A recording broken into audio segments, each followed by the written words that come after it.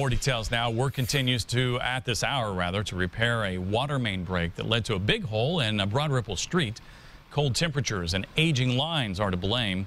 Take a look at this car. A car parked where the hole is. It happened just before dawn along Compton Street, just north of 61st Street. Crews tell us as another car drove by and the road started to buckle, that driver safely made it through, but the parked car started to sink as the pavement crumbled, and it took a tow truck to pull it out. Saw the big chasm. I saw the cars, they were pulling it away. But this is a pretty substantial hole. I've seen water main breaks here before, but not to this extent.